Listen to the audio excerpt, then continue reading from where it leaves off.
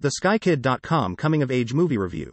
Sister, 2012. Get ready for a unique movie experience. That is the exact sentence I used for my review of Ursula Meier's 2008 film, Home.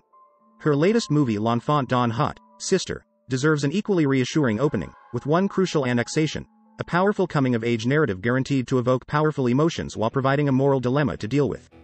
The movie throws us right into action as we witness the confident manner in which 12-year-old Simon, Kacey Mottet Klein, steals skis, gloves and empties pockets in changing rooms at a Swiss mountain resort.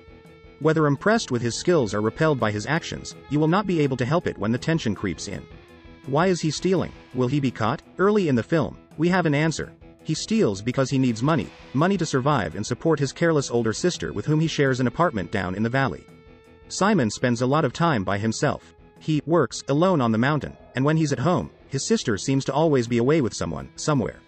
Occasionally she comes home broken and in need of money. Because of the grown-up responsibility associated with provider for their family, Simon has no time for kids his age. Agnes Godard's skillful lighting and color selection, combined with the ample usage of close-up shots, emphasizes the lonely existence of the film's protagonists. Simon's sister, as it turns out, is no less lonely than he is. In addition to Sister's review, you can seek out the reviews for the two movies for whom the cinematographer was Agnes Godard, Home, 2008, and Jacquot de Nantes, 1991. Actor Kacey Mottet Klein starred in Ursula Meier's debut feature film Home when he was just nine years old, it was his cinematic debut as well. In that film, while he was not the central character, his performance won him the Swiss Film Award for Best Emerging Actor. In contrast, in Sister he is on screen in almost all the scenes, typical for the classic coming-of-age narrative, and undeniably the film owes a lot of its appeal to his natural performance. So immersed in the role was Kacey that he was not just acting, he was Simon. Such a symbiosis between an actor's personality and his character speaks volumes about his talent and competent directing. The story is unique and yet universal. It could have happened anywhere to anyone.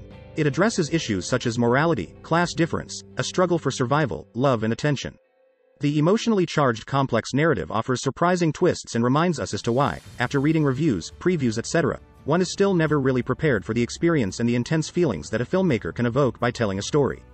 For a complete written review visit theskykid.com.